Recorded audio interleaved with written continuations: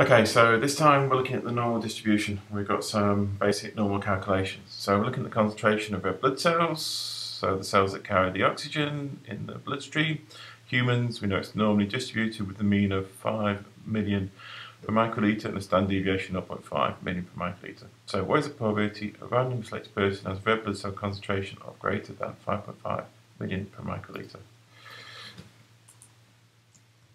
So let's start by defining a random variable, let y be the RBC concentration. And the first thing we know is that y is normally distributed with a mean of 5 and we've got a standard deviation of 0.5 so we've got variance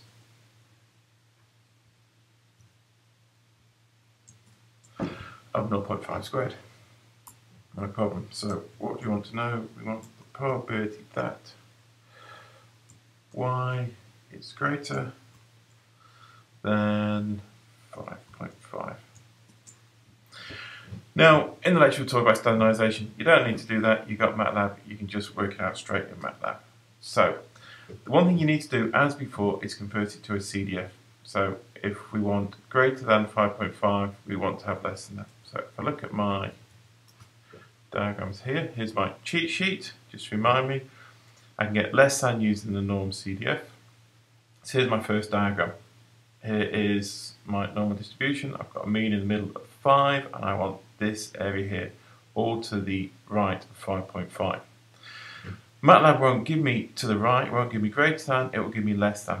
But the total area of this curve is 1, so basically I can just go 1 minus the stuff to the left of this and I will get the stuff to the right. So the probability that y is greater than 5.5 is 1 minus the probability that y is less than 5.5. So it's going to be 1 minus the probability that y is less than 5.5. So equals, get MATLAB up, 1 minus norm CDF so I'm going to put in 5.5, then I have to give mu, which is the mean. So we know that the mean is 5, and the standard deviation I need next, which is 0.5. There's the answer.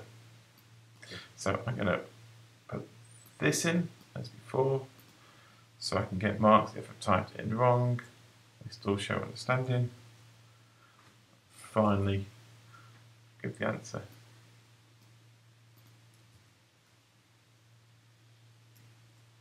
Done. Okay, next one. What is the probability a random selected person has a red blood cell concentration of less than 4.5 microliters? So this one's nice and easy. It's the probability that Y is less than 4.5, which equals Oh, it's already in the form of CDF, so it's just norm CDF 4.5, comma 5, comma 0.5. So my command equals.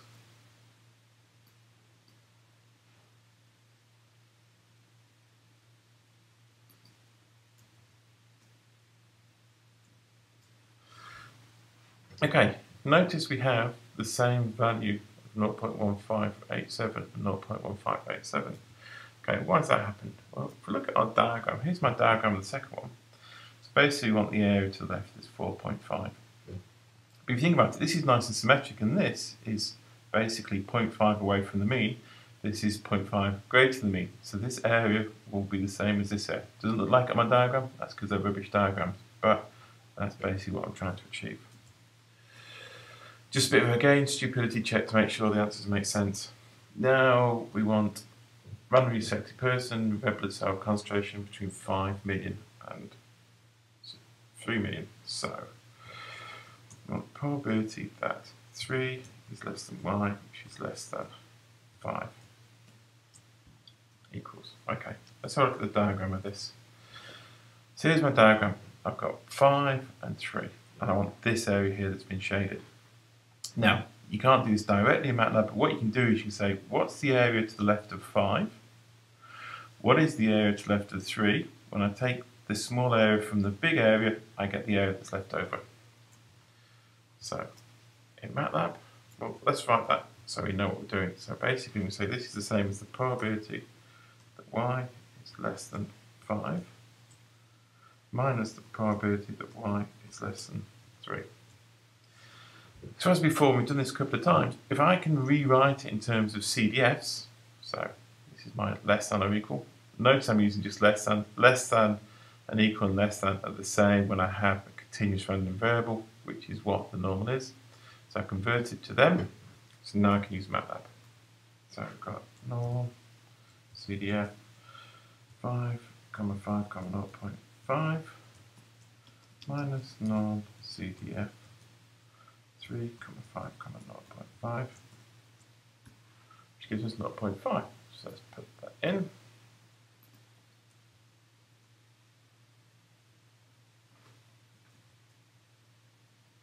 Equals 0.5. Easy enough. Now, some of you may have noticed something here. You might go, well, look, we know the norm of the CDF of 5, 5, 0.5 is 0.5. Because if you look at this diagram, if I'm at 5, the probability of being less than this is a half. So how come when I take off this area, I'm still getting a half? Well, this diagram is not really very representative because if I look here and I actually go norm CDF of 3, comma 5, comma 0.5, that's really, really small. So basically, it should be slightly less than 0.5, but basically, because of rounding error, it looks just like 0.5.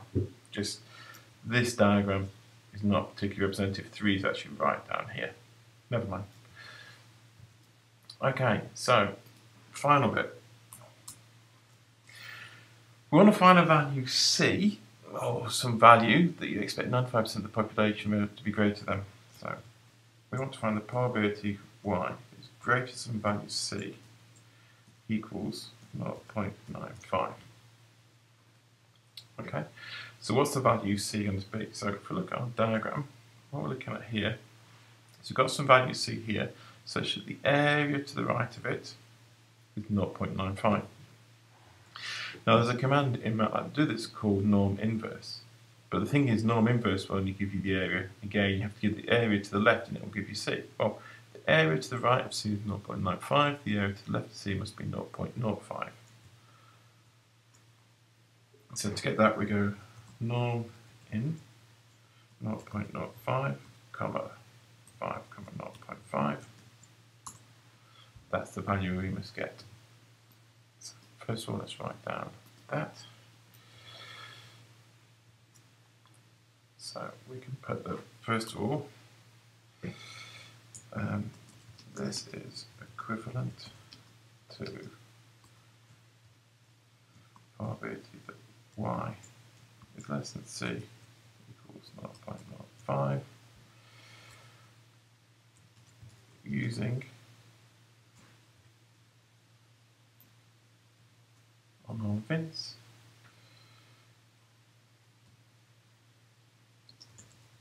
gives c equals